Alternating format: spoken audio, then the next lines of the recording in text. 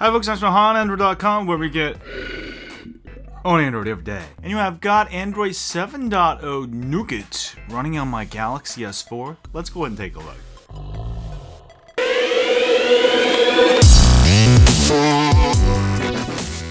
Wow, Galaxy S4 is one of the first Samsung smartphones to receive red carpet treatment from the root community.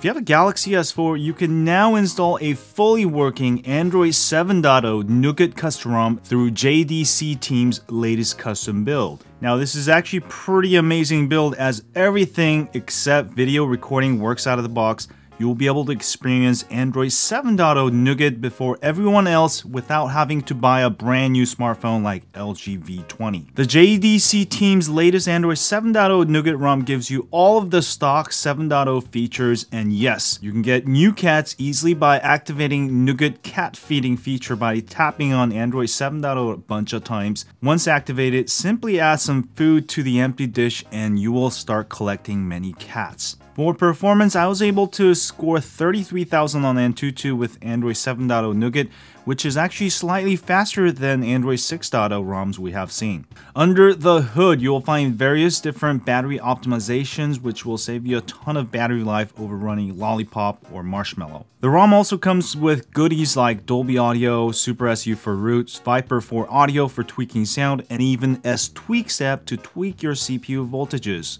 Yes, this is better than stock Android 7.0 on my Nexus 6P since it has more customizations. Also, you can install Pixel Launcher APK, which will allow you to enjoy Google's new Pixel smartphone launcher right on your Galaxy S4, which is 100% compatible with Android 7.0 Nougat. Overall, this is an excellent way to upgrade your Galaxy S4, so if you have a Galaxy S4 that's supported, give it a test drive this weekend and do let us know what you think. Installation is easy, reboot into recovery. I'll make a backup ROM if you want. Just do a factory reset, install ROM, and also add GApps, install it, reboot, and you should be on your way. And thanks for watching this video. If you have a Galaxy S4 with Qualcomm with an unlocked bootloader such as GTI 9505, T-Mobile, Canadian, AT&T or Verizon with unlocked bootloader, you will be able to install Android 7.0.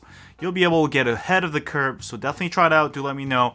Don't forget to thumbs up for me. Follow me on Twitter, Facebook, Google+, Instagram, Periscope, and as always, stay on Android. Nougat. Click here to subscribe.